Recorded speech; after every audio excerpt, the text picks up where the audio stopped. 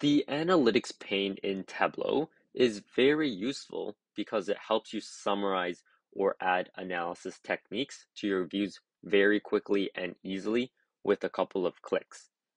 The analytics pane can be accessed by clicking the analytics tab here on the top left hand corner of your screen beside the data tab. And in this pane, you can see there's three sections, the summarize, model, and custom section. And we'll go through the summarize section first since it's at the top and then work our way down to more complex objects in the model section and then end with the custom section. To use any of these analytics objects, all you have to do is select one of them and then drag it into your view. In our view here, we have the sum of sales in 2020 for different category and subcategory splits in the Superstore dataset. And depending on which object you select, Tableau will give you various options to do the calculations on. So as an example, if we select average line, it'll give us a prompt to add a reference line, either for the table, pane, or the cell. If we select the table, it creates an average reference line based on the entire table across all your data in your view. Or if we select a pane, then it's based on the individual panes and in our case here, the individual panes is the categories. So we have two reference lines here. And then if we select cell, it'll create the average line for each individual cell. And in our case, it's the subcategory. So there are a couple ways to edit or remove a reference line. One way to do so is to click on that reference line, and then you'll have the option to change the aggregation, edit it, format it, or remove it completely. I'm just going to undo and then show you another way. So another way is for the reference line that's on the specific axes. So currently they're on the sales in 2020 axes. You can right click on the axes and then have the options to add a reference line, edit, or remove it. So if you have more than one chart in your view, you'll be given several options to apply a reference line. You can either apply it to both charts by putting it into the header or individual ones by putting it into the individual column and row. Now let's take a look at the objects in the summarize section. The first thing we have is a constant line, which allows us to specify a value. So let's just say 30,000. And now at 30,000, we have a constant reference line here. And then the next one is a average line, which averages the data depending on which one you select. So the table, pane, or cell. We'll select the pane. So now we have two reference lines, one for each category. And then if we wanted to find the value or we want to label the value, we just click edit and then we change it to value so we can see the average for each of the two lines. And then next is the median with quartiles, which shows the median line as well as the distribution band for the upper and lower quartiles by default, they don't have labels, so what we can do is click on the boundaries of the quartiles and then edit it, and then add the label for the computation. And when we do that, we can see that it labels it the upper quartile and then the lower quartile with the median in the middle. Next, in the summarize section, we have box plots, which allows us to create box plots for our data to look at the distribution.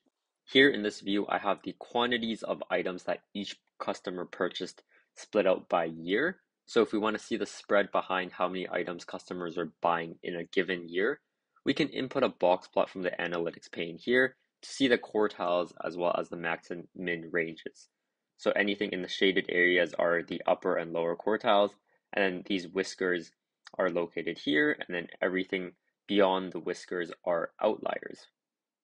After the box plot objects, we have the totals object which lets us calculate the subtotals or grand totals for the data in our view. So for the data in our view, we have the sum of sales by subcategory. And if we want to see the subtotals for each category, we can drag totals into subcategories. And now we can see the total for furniture, office supplies, and technology underneath the subcategory items. And then if we want to see the grand total, we just select total from our analytics pane and then drag it to grand totals. To remove any of these totals, all we have to do is click on the label and then we can change the aggregation or remove it. So we'll just remove it here.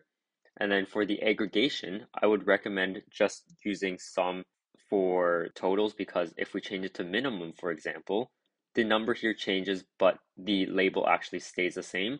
So this can be very misleading for your viewers if they're expecting a grand total, but then number here is actually a minimum. So I'm going to change this back to sum. Now we'll move on to the model section of the analytics pane. So the first object we have is the average with a 95% CI. You can simply drag it out to whichever aggregation you want it at.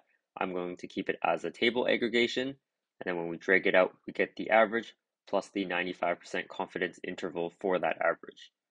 Similarly, if we want the median, we can drag the median out, and then we see the median with the 95% confidence interval band. The next object we have in our model section is the trendline object, which allows us to show a trend line for our data. So in the view here, I have the running sum of sales over time, so that if we fit a trend line to this data, we can predict the sales performance over time. So if we drag trend line out, we can see we're given different options for the trend line. So let's just start with linear.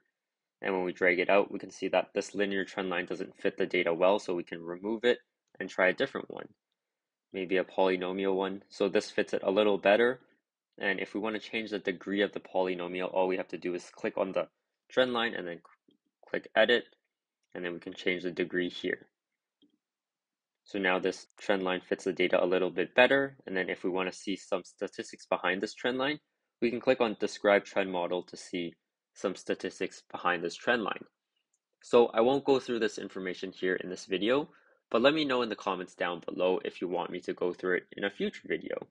The next object we have in our model section is the forecast object, which is used to find patterns or trends in the data so that an estimate can be made to continue into the future. Forecasts are normally used on data with dates so that you can estimate results for the near future. And in this worksheet, I have the month of order date and the sum of sales for those months. So if I want to forecast a few months past my data, I can use the forecast object, drag it into the view, and get a forecast for those sum of sales past my months of order dates. If we want to see how Tableau created this forecast, we can right click on the forecast go to forecast here and then go to forecast options and we see the default settings for the forecast. So for the forecast length, it was automatically set to the next 13 months, but we can change it to exactly one year, one month, or one quarter, or until a certain year, month, or quarter.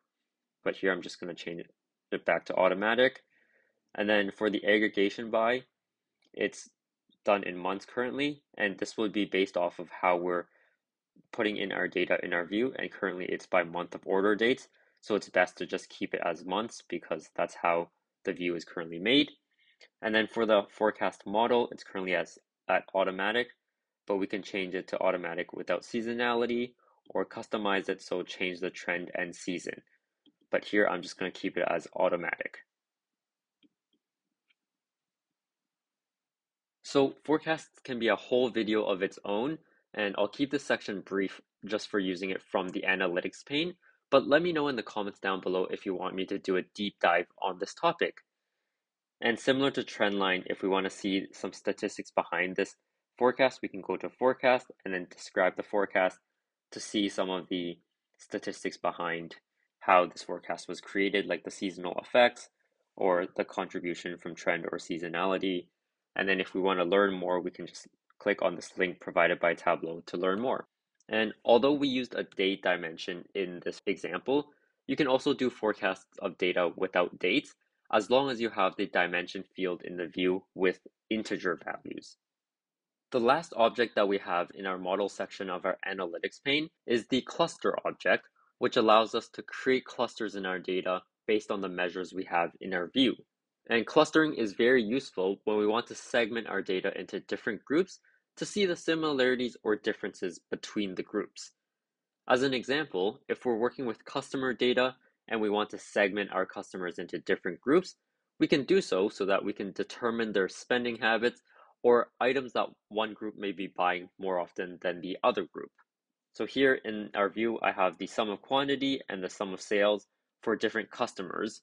And if we drag the cluster object into our view, we can see that the customers have been segmented right here.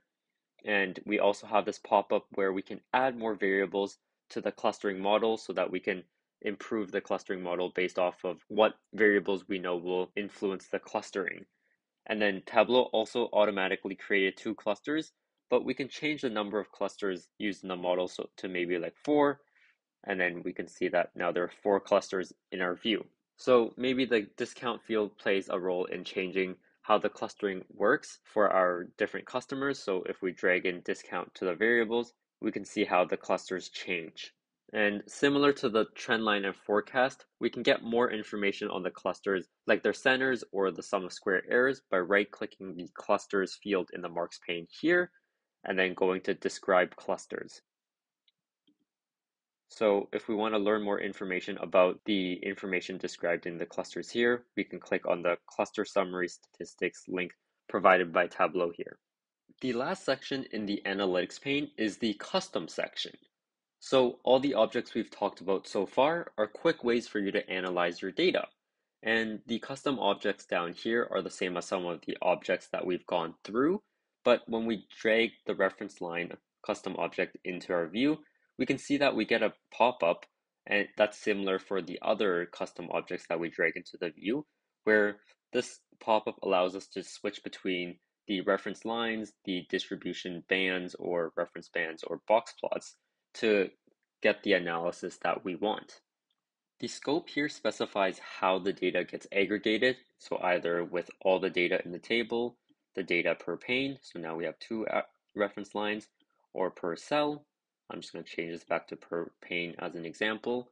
And then the value for the reference line down here allows you to choose how you want to calculate that aggregation. So currently it's based on the sum of sales in 2021 with the average but you can also choose parameter values down here, or you can add in other calculated fields into the detailed mark in your view here, and then that calculated field will appear as an option in this drop-down menu. So here is the aggregation, so how we want the value to be aggregated.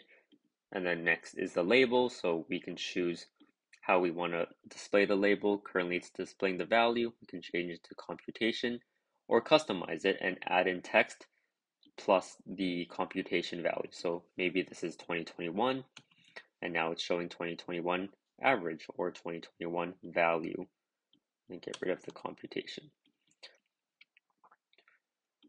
And then the tooltip here allows you to change how your data is displayed when a user hovers above your reference line. So we can customize that and add in whatever value we want. And then down here is formatting, so we can change how the reference line appears in our view. Next is the reference band tab, where we can specify how we want the band to appear. So from a specific minimum value to a specific maximum value, or changing it from an average value to a maximum value. And then down here we have formatting as well. And then the scope also appears in the band tab as well. Next is the distribution tab where we can change how the distribution band is made. So with values for percentages, percentiles, quantiles, or standard deviations. And then we have similar options for the label, tooltip, and formatting. So the last tab is the box plot, and there are only two options for how the whiskers can be extended to. So one of them is the data within 1.5 times the inner quartile range, and then the other one is the maximum extent of our data. So some custom objects may not fit your data like how box plots don't really make sense in this view, so it doesn't really appear. And normally Tableau is pretty good at figuring it out, like how the box plot object can't be chosen from the custom analytics pane section. But you should also still make sure that the data in your view is appropriate for your analysis of choice. In this example, I'm going to go through using custom calculated fields as reference values and also go through an example use case of the cell aggregation because from first glance, it doesn't seem like there's much use to this type of aggregation. So here I have the sum of sales for 2021 for different subcategories, and this is a calculated field. So we can take a look at how it's made. And if the year of the order date equals to 2021, then the sales is included, or else we end the calculated field. Similarly, we have a calculated field for 2020, that we can use as a reference value for our reference line. We first have to drag the calculated field into the detail part of the mark. And now we can go to analytics pane and then drag in a reference line to the cell and then change this value to sales in 2020. So now these reference lines are based off of that calculated field. And then we can change the label, maybe to custom and say 2020 and then add in the value.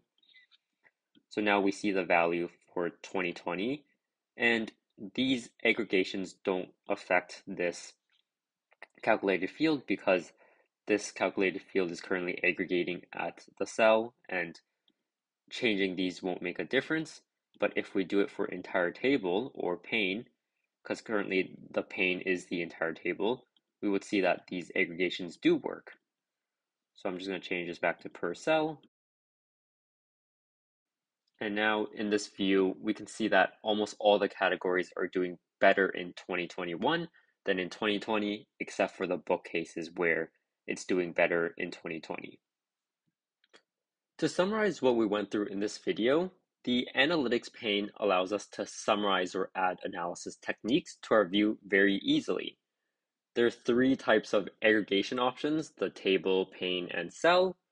You can input a constant line, average line, median with quantiles, box plots, subtotals, and totals easily from the summarize section of the analytics pane. And the modeling section includes average and median with 95% confidence intervals, trend lines, forecasts, and clusters. For the trendline model, we can use a linear, logarithmic, exponential, polynomial, or power model. The forecasts can be made with a date or integer dimension field to estimate results for the near future. Next, we can specify the number of clusters and variables we want to use in addition to the ones in our view to fit our data with a clustering model. And the trend line forecasts and clustering models all have summary statistics, so we can determine the statistical significance of our models that we make. And then the custom section lets us customize different reference lines, reference bands, distribution bands, and box plots by using different aggregation values for our data. The cell option can be used to compare year over year data as an example that we went through. And last but not least, we can add calculated fields to the details section of the marks pane to use them as our reference values. So this concludes the Tableau Analytics video. And if you enjoyed this video and want to be updated every time I post a new video, I would love for you to subscribe to me. I post a new video every Thursday.